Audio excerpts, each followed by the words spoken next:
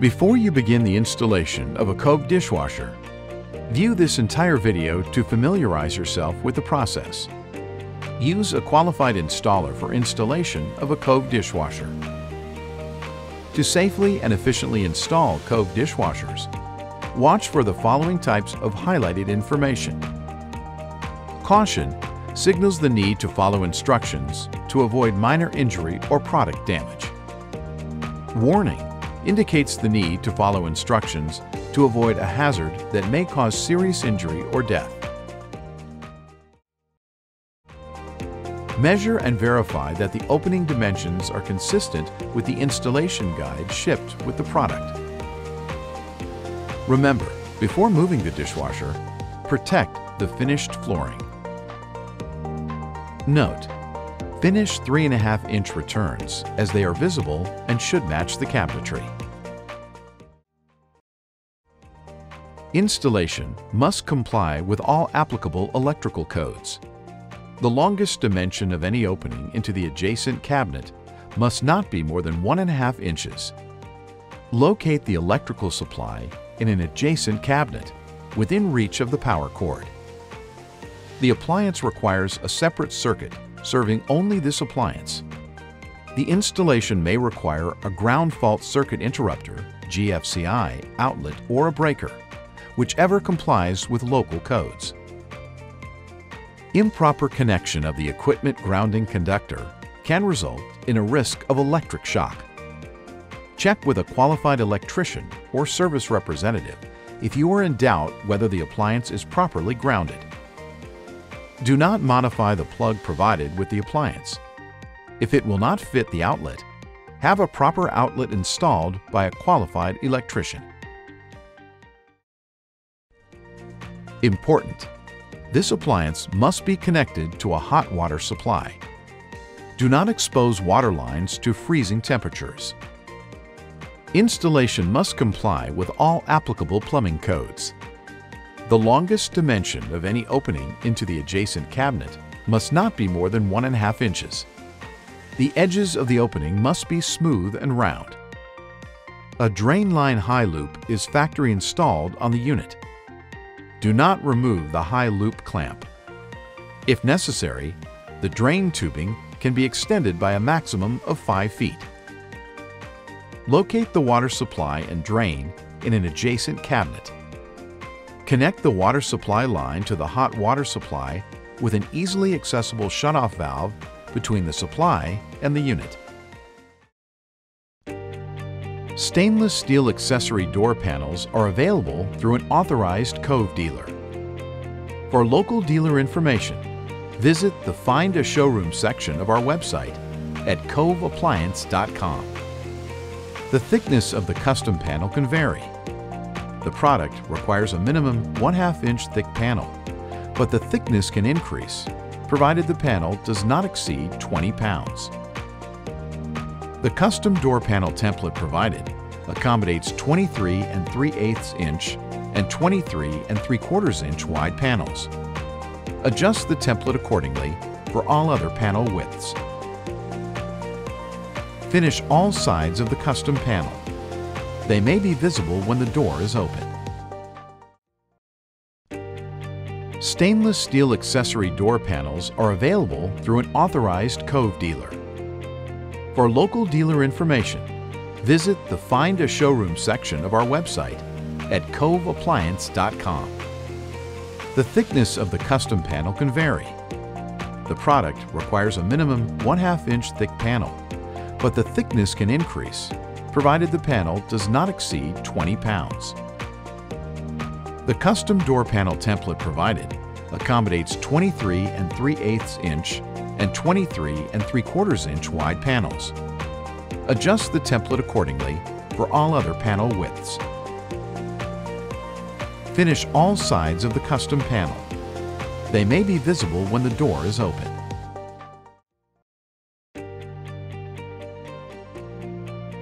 Use caution when drilling bracket holes to prevent damage. Number 1. Remove the template from the dishwasher door. Number 2. Place the custom panel face down on a protected work surface. Number 3. Position the template flush with the top and sides of the panel, then mark and drill holes.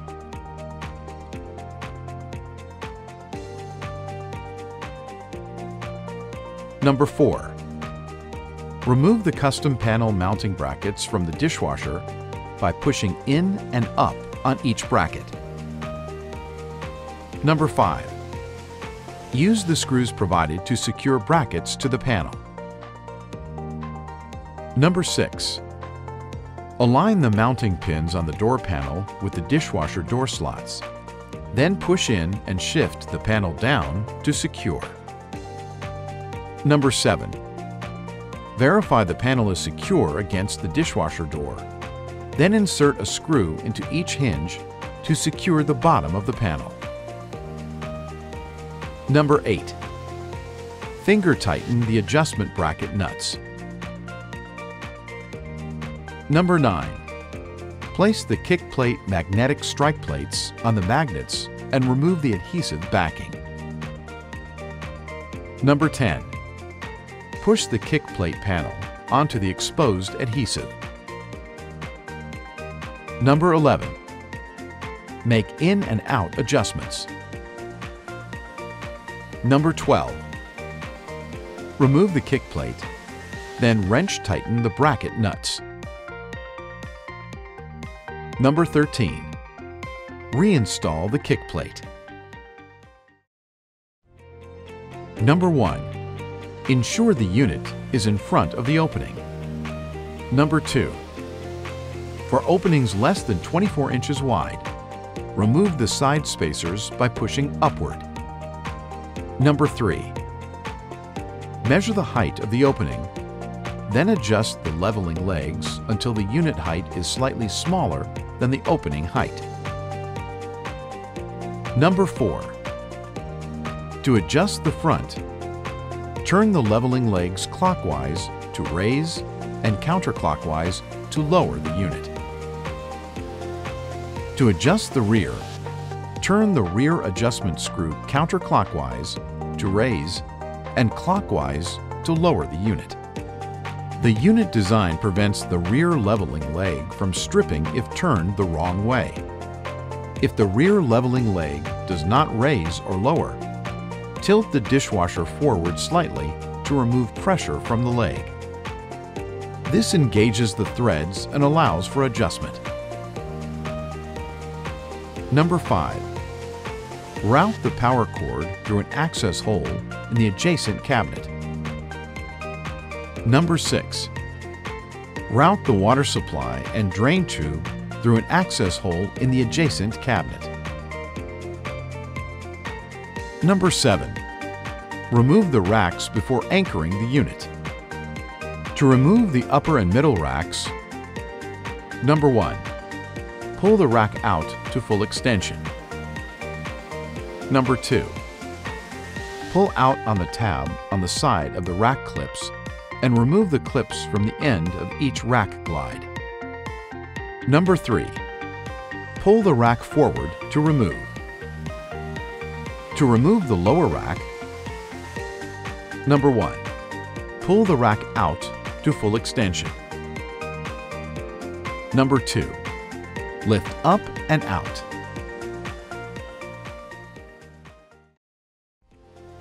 Number 1. Insert the unit into the opening and pull the excess electrical and plumbing supplies through the access hole before completing the installation. Number 2. Verify that plumbing and electrical supplies are not kinked or coiled. Number 1. Connect the drain line by following the local code. The drain connection will accommodate 1 inch, 3 quarters inch, and 5 eighths inch drain connections. Cut the connection to fit 3 quarter inch and 5 eighth inch connections. If connecting to a food waste disposal, remove the knockout before making the drain connection. Secure the drain tube between 20 inches and 43 inches above the bottom of the dishwasher. Number 2. Connect the water connection to the water supply with the fitting provided. Make sure to remove the knockout from the waste disposal before making the drain connection. Failure to do so will cause drain issues. Number 1. Route the product end of the power cord through the 1.5 inch cabinet access hole. When routing the power cord through metal, protect the edges of the access hole to prevent abrasion. Number 2. Plug the cord into the back of the unit and then into the outlet. To adjust the front, turn the leveling legs clockwise to raise and counterclockwise to lower the unit. To adjust the rear, turn the rear adjustment screw counterclockwise to raise and clockwise to lower the unit. Secure the unit to adjacent cabinetry using the screws provided. Do not over-tighten. Over-tightening could distort the unit, causing issues with the door seal. If applicable, secure the top of the unit to the countertop using the screws provided. Verify proper door closure, then install the hole plugs in each mounting hole location. Door tension adjustment accommodates multiple panel weights. Panel weight cannot exceed 20 pounds. Turn the adjustment nut clockwise to increase tension and counterclockwise to decrease tension. The kick plate must be removable for service. The floor cannot interfere with removal. To remove the kick plate, number 1. Finger tighten the adjustment bracket nuts. Number 2. Place the kick plate on the magnets. Number 3. Make in and out adjustments. Number 4. Remove the kick plate then wrench tighten the bracket nuts. Reinstall the kick plate. A decorative kick plate may be adhered to the existing kick plate. The height and thickness can vary, but the addition must not impede the door panel rotation. Notch the upper right corner of any kick plate exceeding 3 and 3 8 inch in height to allow for airflow. Turn on the water and electrical supplies. Install all interior racks. Run a quick cycle and check all electrical, water supply, and drain connections. For water softener models, refer to the water softener section of the installation guide to adjust the water hardness, then proceed to the next step. For water softener models only, a salt compartment is located at the bottom of the interior. Before filling the salt compartment for the first time, fill the compartment with water. Water does not have to be added with subsequent refills. To add softener salt, number 1. Pull the lower rack forward and if necessary, turn the lower spray arm away from the compartment cover. Number 2. Turn the cover counterclockwise to remove. It's normal for the reservoir to contain water. Number 3. Fill the compartment completely with dishwasher softener salt. Number 4. Once full, clean any excess salt from the threads of the salt compartment, then turn the cover clockwise to secure. Follow all city and state laws when storing, recycling, or discarding dishwashers. Thank you for watching the Cove dishwasher installation video. Please continue to familiarize yourself with proper installation techniques. As a Cove partner, your attention to detail is critical to providing an exceptional customer experience. If you have any questions or would like to provide feedback, please contact Cove Customer Support at 1 800 222 7820 or email us at customerservice at subzero.com.